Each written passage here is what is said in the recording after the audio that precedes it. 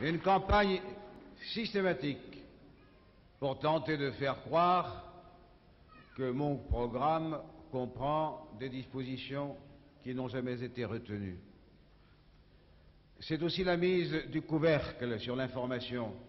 Songez que depuis hier, l'association de rapatrier le recours, dont le président Guy Forzi s'est exprimé pour affirmer qu'ils allaient voter pour le candidat que je suis, n'est pas parvenu, n'est pas parvenu, jusqu'à l'heure où je m'exprime, à obtenir que ce communiqué puisse être transmis par la radio-télévision, sur ordre particulier, dit-on, de l'Élysée.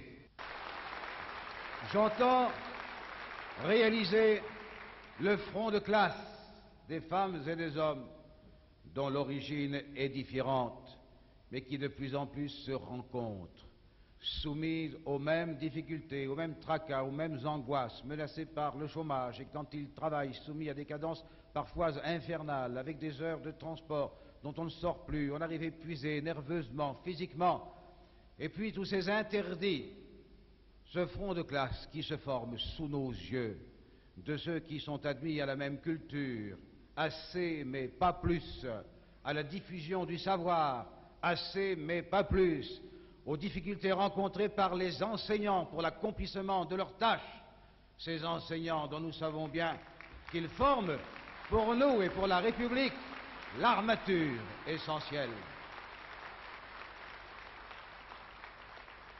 Mais voyez-vous, il nous faut encore aller un peu plus loin. Je n'ai pas l'intention de pratiquer l'unanimisme. Je suis fidèle à mes engagements. J'ai dit partout que candidat des socialistes sur la ligne de départ, fin janvier 1981, je le serai aussi sur la ligne d'arrivée le 10 mai, c'est-à-dire après-demain.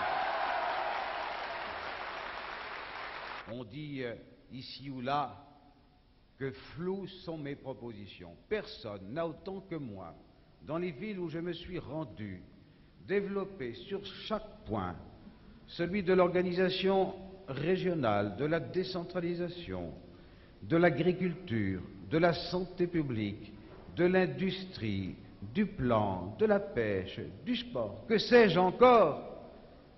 Nous ne sommes les gens ni de l'amertume, ni de la revanche, ni de la vengeance mais peur pour le pouvoir et pour les privilèges qu'ils ont accumulés à travers les temps, que dis-je, à travers le siècle de la société industrielle. Côté, Giscard d'Estaing, on se croirait dans une élection municipale d'un village de 30 habitants.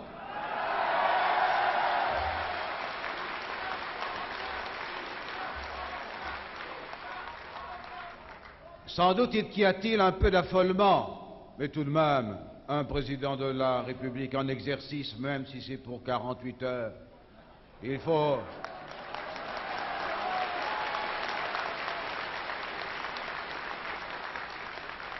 Il faut savoir garder un peu de dignité.